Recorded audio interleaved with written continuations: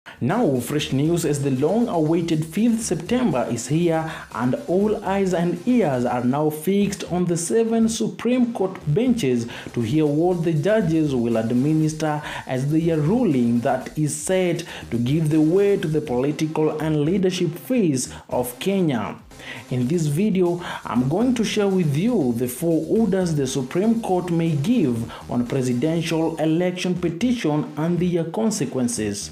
Welcome to Cuba News. Now, after hearing the presidential petition, the seven judges of the Apex Court of Kenya are constitutionally given up to today to write the verdict that will be rendered in front of the Supreme Court and the public Kenya.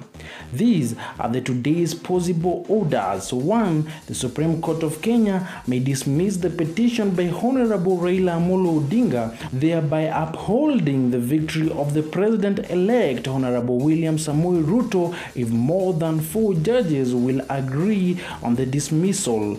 And of course, if more than four will disagree, this will take us to the possibility number two, where the court will invalidate the declaration made by IEBC chair Mr. Wafula Chebukati, where he declared Honorable William Samoei Ruto as the president-elect, and this will set a room for the nullification of the August 9th election. The Supreme Court, through the Chief Justice mother Koome, will announce that it's null and void, and that's according to Article 138.5 of the Kenyan Constitution.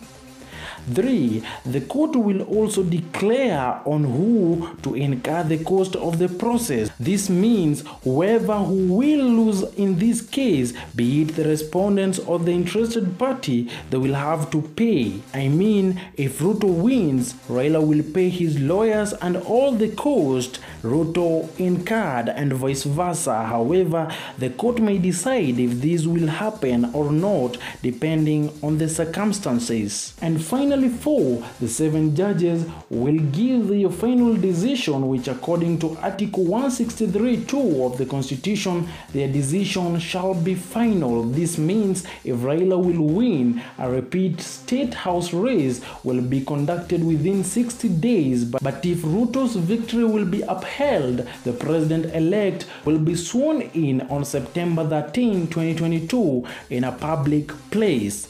Remember to like, to subscribe, and to turn on the notification bell. You are watching Emqba News, and I'll be right back with more trending updates.